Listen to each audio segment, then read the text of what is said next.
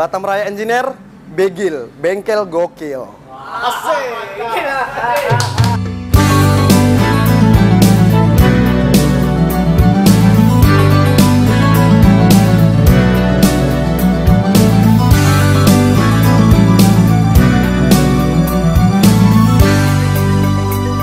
Oke, perkenalkan nama saya Gary. Saya berasal dari Pekanbaru.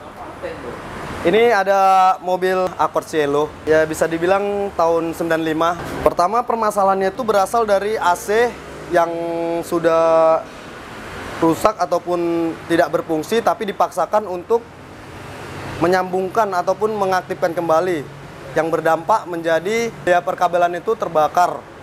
Kalau dibawa jalan tuh kadang mau mati, pengapiannya itu sering drop ataupun mau tidak ada tenaga atau gimana lah.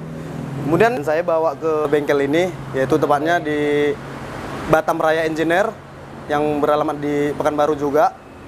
Dan akhirnya saya di Batam Raya Engineer ini meminta pada mereka mekaniknya mengembalikan perkabelannya seperti semula lah, dari restorasi kembali ke awal.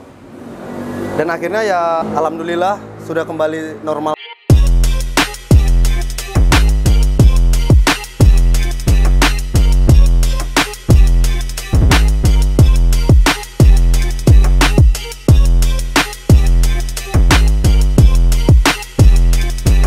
Dan saya sarankan untuk pengguna mobil yang lainnya ya teruntuk mobil-mobil semuanya lah. Berhati-hati saat ada masalah ataupun problem di bagian listrik. Itu akan bisa mengakibatkan fatal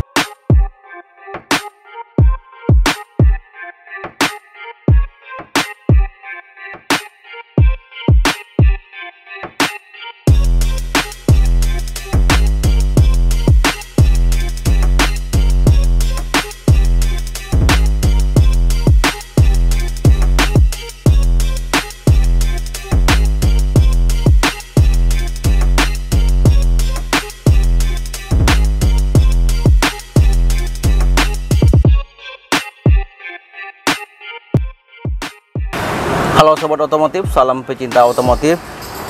Historis kerusakan di mobil ini dari AC. Di mobil ini ada modul AC atau panel AC yang ada di depan. Saya sarankan untuk pengguna mobil Accord 94, 95, 96, 97 di bawah tahun 2000-an. Untuk perlu diketahui dari sistem kerja pola AC secara teori apabila di bagian amplifier AC terjadi trouble atau masalah bisa menyebabkan AC tidak berfungsi. Pada umumnya kerusakan di bagian kontrol atau amplifier AC yang ada di bagian dashboard depan. Jadi dari sudut pandang untuk seorang teknisi AC apabila amplifier AC bermasalah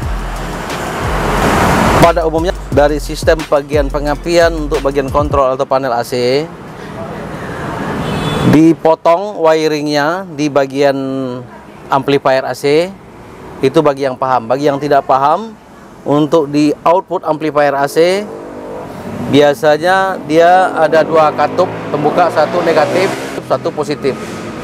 Resikonya pada saat negatif bertabrakan dengan positif bisa penyebab kebakaran seperti di mobil ini trouble awal dari AC hingga menyebabkan trouble-nya ke beberapa item siklus kelistrikan yang ada di mobil ini seperti modul central lock, modul power window, amplifier AC, speedometer, kemudian termasuk electrical wiring yang ada di bagian dashboard.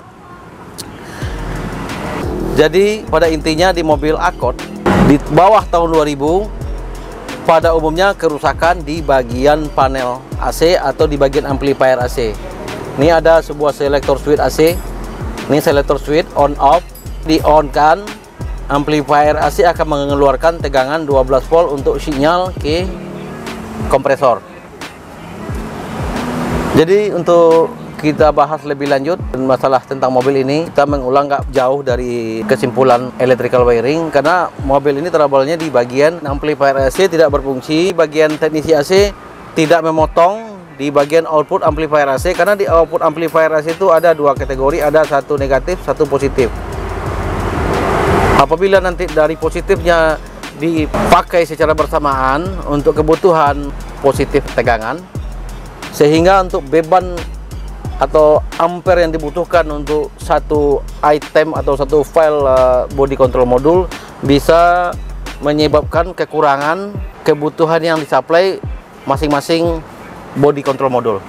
Oke, sobat otomotif di mobil ini kita membahas masalah trouble awal terbakarnya bagian electrical wiring itu penyebabnya dari kerusakan di bagian kontrol modul sehingga terbakarnya link electrical wiring antara satu item ke banyak item yang ada di mobil ini.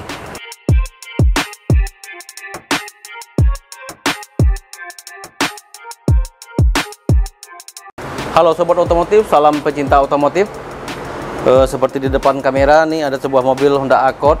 Kita sudah menyelesaikan beberapa item atau beberapa file dari electrical wiring sehingga modul.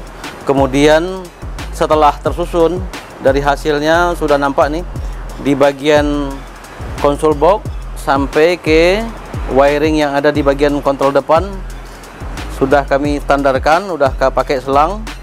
Ini kemudian untuk keluarnya sudah kami standby kan. Namun ini belum terpasang karena masih menyangkut uh, pihak kedua di mobil ini. Setelah dipasang nanti dia bakal rapi seperti semula. Nih, ada beberapa item sudah standby. Jadi dari kebutuhan untuk di mobil ini sudah layak untuk dibawa jalan. Oke sobat otomotif, sekian dulu video singkat ini semoga bermanfaat bagi yang membutuhkan. Salam pecinta otomotif.